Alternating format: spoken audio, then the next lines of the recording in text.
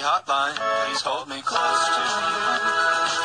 Baby flatline, still time to do this too. Baby snack time, chow down to her.